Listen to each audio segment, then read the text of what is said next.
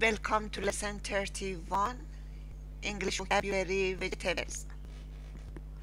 Pumpkin, pea, radicchio, span squash, corn, spinach, tomato, taro, turnip, zucchini, yam, onion, red, lettuce, ginger, radish, leek, parsnip, bitter gourd, coriander, Brussels sprout, cucumber, yellow onion, red onion, garlic, carrot, red cabbage, white cabbage, radish, eggplant, mushroom, red pepper, artichoke, corn, beet, broccoli, cauliflower, celery, red chili, green chili,